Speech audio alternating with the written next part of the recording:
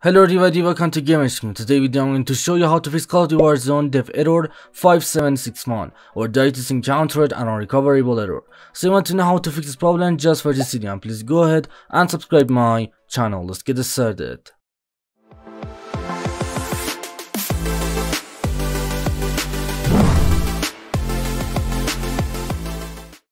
Okay guys, for the first method to fix this error, first of all just go and open up Battle Launcher and then just go and click on options on Call of Duty Warzone, just click on options.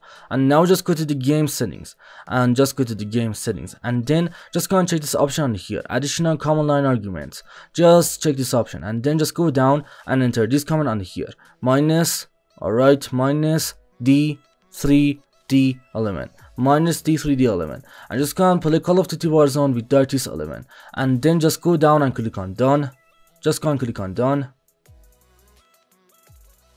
Alright, and now just go and open up Call of Duty Warzone and it's the first method I know to fix Warzone dev error 5761 or is encountered an unrecoverable error. Just go and use this element to play Call of Duty Warzone. But if didn't work, just go and update your graphic card driver. If you have an graphic card on your computer, I recommend to just go and download GeForce Experience and then update your graphic card with the latest version from GeForce Experience. But if you have an Intel or AMD graphic card, just go and search on Google Chrome for example, search graphic card name plus driver and then just go to the Intel or AMD website and download the latest version of a graphic card driver and it's the third method I know to fix this problem. Just go and update your graphic card driver. But if it didn't work, just go down on your uh, desktop and just go down on your desktop and type check for updates on here. Alright, just go and type check for updates on here. Okay, and then just go to the check for updates. And now guys just go up to the Windows latest version and it's the fourth method I need to fix a dev error 5761 or DirectX encountered and a recoverable error.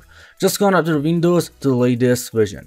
But if it didn't work, just go and open up Battle Launcher again just go to the Battle Launcher again and now just go and click on options on Call of Duty Warzone. Just click on options and then just go and click on scan and repair. I'm just gonna repair Call of Duty Warzone files because sometimes this problem happened and this error pops up because you have some corrupted files about Call of Duty on your computer. So just go and repair Call of Duty Warzone files and it's the last method I know to fix the error of 5761 or this error Anyway guys, thanks for watching video. I hope this video helped to fix Call of Duty Warzone dev error 5761 or DirectX encountered an unrecoverable error. Please go ahead and drop a link on this video and subscribe my channel. Peace out.